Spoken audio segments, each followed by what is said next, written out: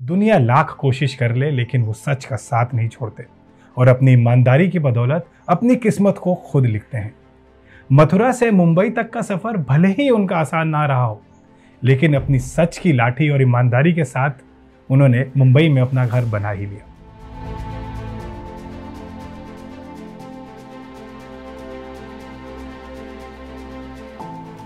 Mumbai, actors के लिए आज़ादी से रहने का लाइसेंस है।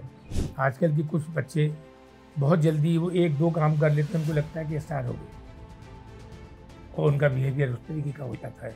ओ जो है देखा जाए तो एक तरीके से कोविड की देन है। आज तक लोग बाग सरकार के पहले सीन को याद पहला सीन है सर बच्चन साहब का इंट्रोडक्शन है। जैसे ही राम गोपाल वर्मा हटे तो उससे बच्चन साहब ने कहा कि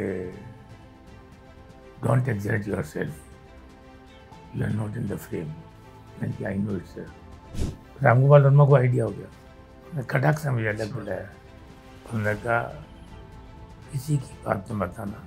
शाहरुख खान साहब के साथ भी आपने काफ़ी काम किया है। बहुत इंटेलिजेंट आदमी बहुत अच्छा सेंस ऑफ़ अगर उसको कहीं लगता है कि कहीं वो फंस रहा है तो इमीडिएटली एक ऐसा ह्यूमर क्रिएट करेगा कि वो बात को गायब कर देगा। जैसे कि एक बार जावेद साहब ने कहा था कि सरकार हजूर आप कुछ भी कर ले आप कभी हीरो नहीं हो सकते।